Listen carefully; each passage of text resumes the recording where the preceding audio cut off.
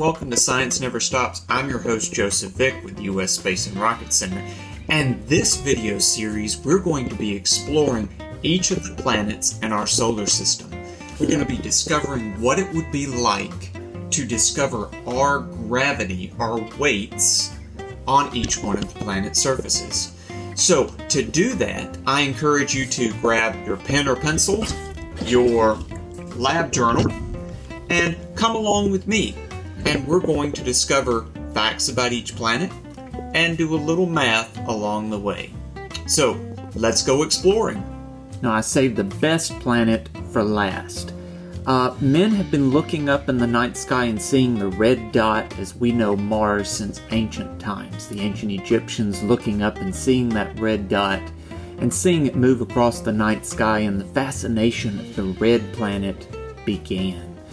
Even as early as the beginnings of NASA in the mid 1960s, they were sending space probes to observe our really close red neighbor friend.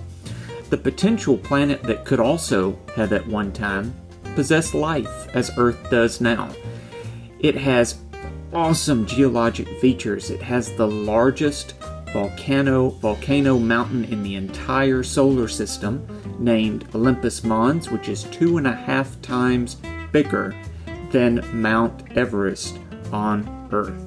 It's a shield volcano, meaning it's sort of spread out along the ground like a shield is flat, and its roundabout shield would cover the entire state of Arizona if you set it on a map.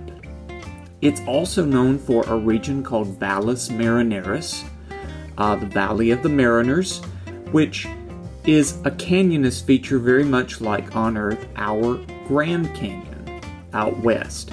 But unlike our Grand Canyon, it is much bigger, much deeper, at 10 times the length and 10 times the depth and width, and takes up two thirds of the entire surface of Mars, which is the equivalent of Valles Marineris starting at the east coast of the United States and stretching all the way across to the west coast of the United States. That big of a feature on a planet half the size, or a quarter, or one third the size of planet Earth.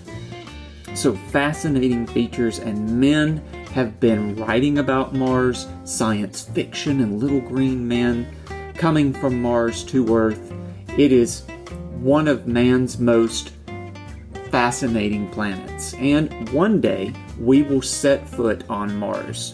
Don't know when, don't know where, but mankind will put their footstep, just like mankind did on the moon, on the surface of Mars. But until then, we will have an entirely inhabited planet of robots and rovers, with Curiosity, Spirit, Opportunity, Sojourner, and soon to be the Mars 2020 rover Perseverance named after a Space Camp alum. So that's our favorite planet, and let's calculate as an astronaut what it would be like to walk on its rocky surface, how much we would weigh.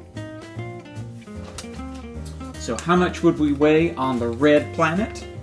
So we have calculated here our mass for planet Earth being 100. We're solving for weight, so we're solving for x equals mass of 100 times the surface gravity, so it is a third of the Earth gravity, so 0.38.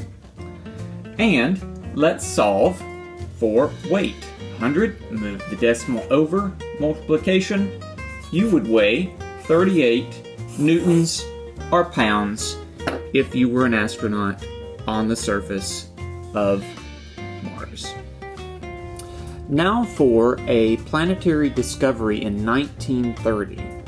Clyde Tombaugh was an astronomer that looked out deep into our solar system past Neptune and discovered a movement that was not recorded before, so he continued to study and then found in 1930 was a new planet. That new planet was named Pluto because of it being so far out and keeping in line with the Greco Roman pantheon of naming planets, Pluto being the god of the underworld, cold and dark. the only image that could be gathered from it was a very small pixelated dot, or a few dots. And it wasn't until recently we had a new probe called New Horizons that discovered what Pluto really looks like. It did a flyby and it discovered a rich, beautiful terrestrial planet covered in ice and mountainous and had a beautiful heart-shaped fan called the Tombaugh Regio, or Tombaugh region, after the founder of the planet. Uh, it also had a light rusty color, just like the other planet in this video, Mars, but for a different reason, Mars being covered in iron oxide, and not sure exactly what Pluto was covered in to give us that reddish hue that we saw with those New Horizons photographs. Now, one of the things of location with Pluto is it's very close to another region like planet Mars is close to a region called the asteroid belt. Now, past the orbit of Neptune, you have an area called the Kuiper belt, where you have objects, one of those objects being dwarf planet Pluto. There are various other dwarf planets past and within the Kuiper belt, but Pluto happens to be the most popular of them. In 2006, there was a reclassification of what is a planet, and Pluto, being of its discovery in 1930 classified as a planet, was now renamed a dwarf planet.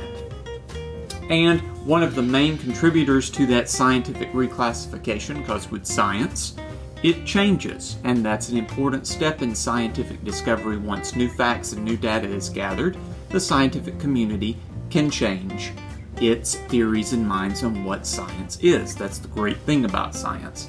There was a, an astronomer named Dr. Mike Brown, a Huntsville native, uh, that discovered various movement past Pluto and various other objects, some objects even larger than Pluto in the Kuiper Belt. And upon noting the movement of Pluto, noting its size, its relationship with its uh, various moon systems, that it was deemed not stable enough to hold its gravitational pull over the planets and stabilize itself in a planetary movement that dignified itself enough to be a planet. So it was reclassified as a dwarf planet, still a planet, but a dwarf planet in different classification of what is a planet.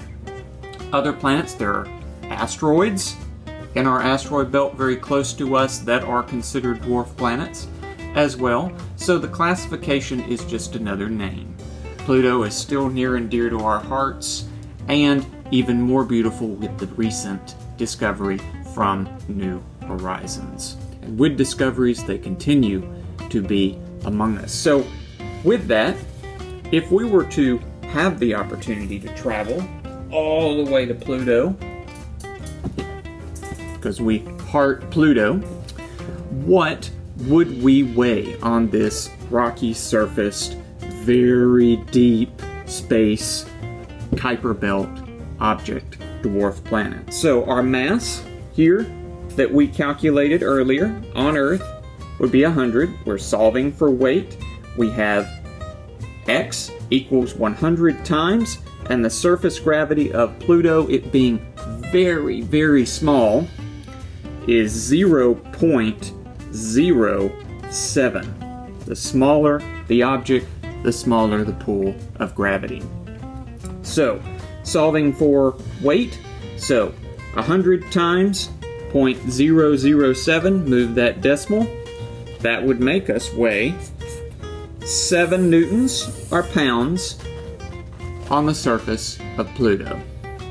And remember, no matter how far you explore, no matter how much you discover, know that you are important and that no matter where you are, at whatever time, science never stops.